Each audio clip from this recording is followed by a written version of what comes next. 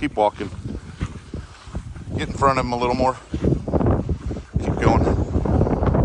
Keep walking. Just let him follow you. So I just video and Go ahead and turn. Turn and let him go.